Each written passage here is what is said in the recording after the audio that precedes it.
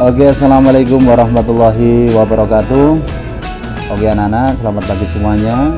Senang bertemu dengan kalian lagi, walaupun melalui media daring atau internet. Uh, apakah kalian tahu apa yang akan kita pelajari hari ini?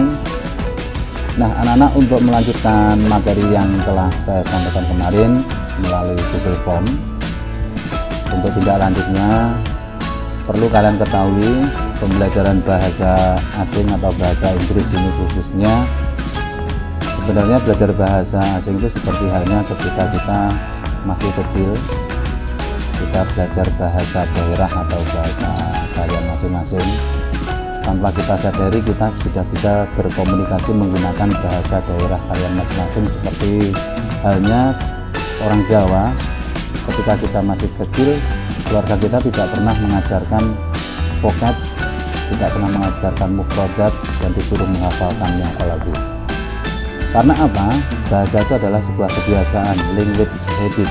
Jadi ketika kita terbiasa untuk mengucapkannya dengan partner maka kita akan terbiasa um, dan kita akan bisa lancar menggunakan bahasa asing tersebut.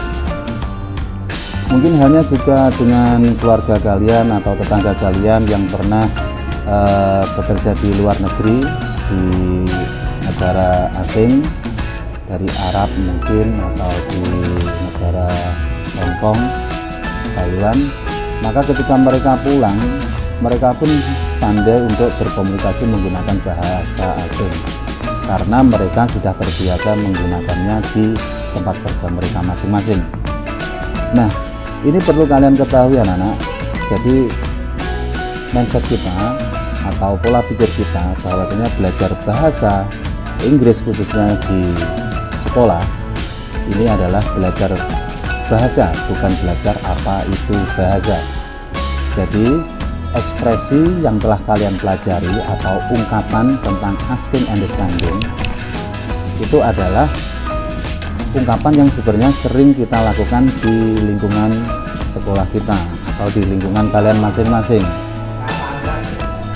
nah ketika kalian baca artikel yang kemarin saya sampaikan ke di Google Form ketika kita berkomunikasi dengan teman dan ternyata teman itu belum memahami apa yang uh, kita sampaikan maka perlulah kita mengecek kepahaman mereka. Nah dalam bahasa Inggris pun ada ungkapan-ungkapan tersebut.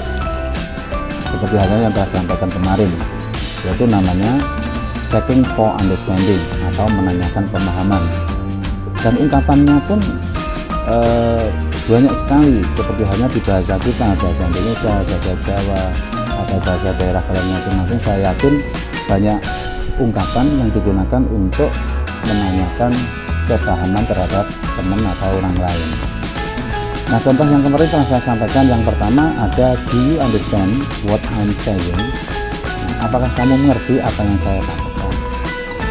Nah anak-anak untuk lebih jelasnya kalian bisa melihat tayangan video berikut ini.